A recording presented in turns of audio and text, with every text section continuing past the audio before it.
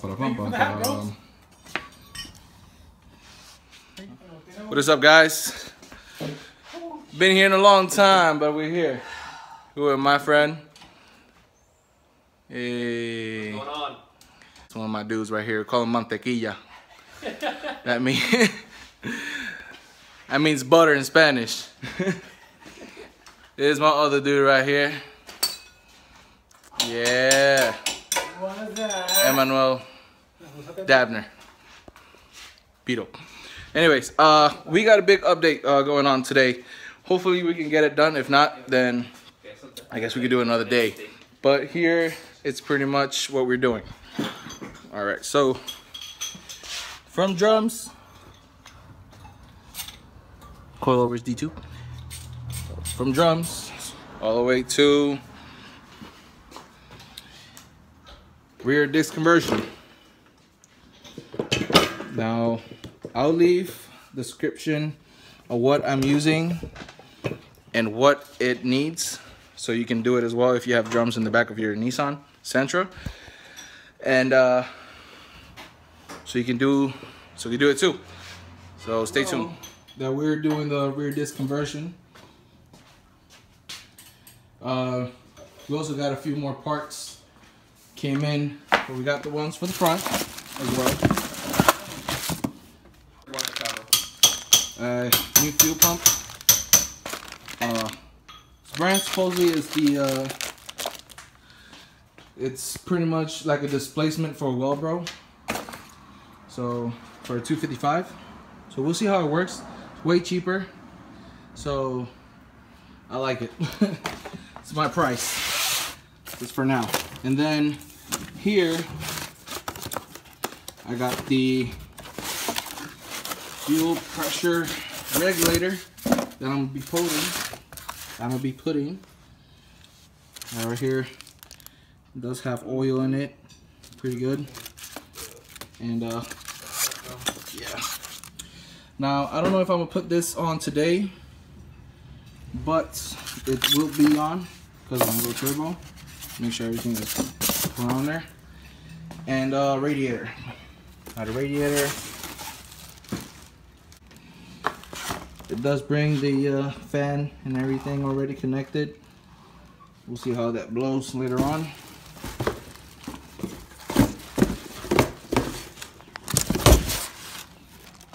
And uh, yeah, those are a few parts that we're gonna try to put on today. If not, then another video. But besides that, stay tuned.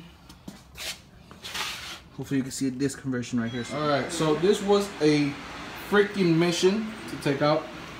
That's why I like to mess with drums. Um, out with the old, in with the new.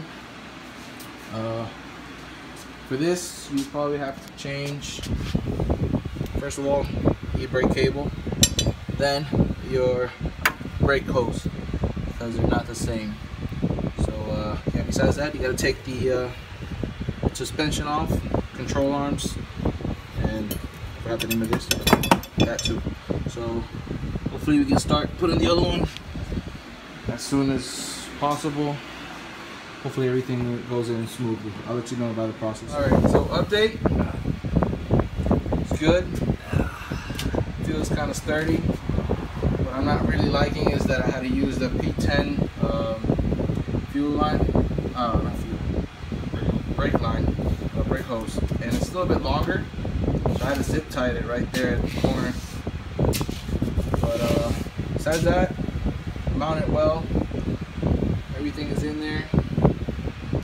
So pretty much what you got to do is take two bolts from the suspension, control arms. So very long one from here to the other side. And then that's the other bolt from the other side, this one.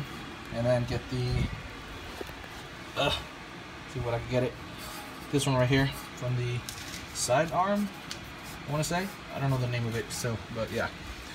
And after that, then you can put this one in there and proceed the steps again. Besides that, everything looks pretty good. Hopefully don't fail. I do not have a emergency brake line. So I'll have to take this one out and leave it without that and park it in first gear every time. Hopefully I don't forget and car rolls anywhere that he wants to go. So this is an update. I know I should have been showing you step by step and showing you in the video how to do it. But to be honest, I don't have time. Sunday, I work tomorrow, the only day off, and I gotta do this fast. If you have any questions, bottom of the comments, and I will tell you how to do it. But uh, yeah, this is what's coming up. Hopefully I can put the wheels back on and see how it looks. And hopefully I can change my SER wheels and put some other rims in there. So that can, you can see that nice looking stuff in there. Alright, so let's put the wheel back on, jump to the next one. You can't see much, that's why I want to get a new uh, new wheels. But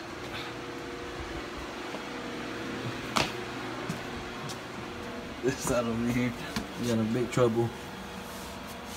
This line right here doesn't want to break loose and it's stripped. Now, this bolt, I think most of these B13s they get seized. So doesn't want to come out at all. Everything else is loose. Having some trouble and difficulties on this. Um yeah. I'll keep you guys posted in a second. Alright, so after a few hours hitting it, my dad came through and had to take out bushing from one side.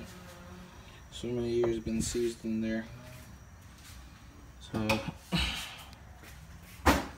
yeah, it is out. So we can try to see what we can do for this right here. See what we can do for that. And put the other one in. And then bleed out all four. And we should be good. I already did the front while they were doing this one.